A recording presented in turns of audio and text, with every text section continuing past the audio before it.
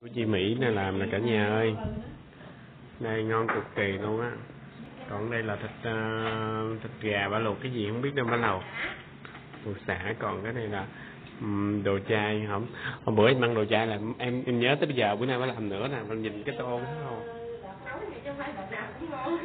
yeah. cái mùi là thấy rồi đó cái mùi là thấy thơm rồi đó.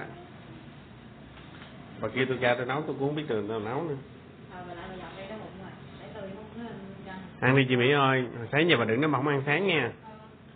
Thôi bội, ăn lẹ đi bội. Lại ăn đi chị Mỹ ơi. Bà đi làm hôm bữa mới làm ở chỗ mình cũng đâu có ăn uống gì đâu trời.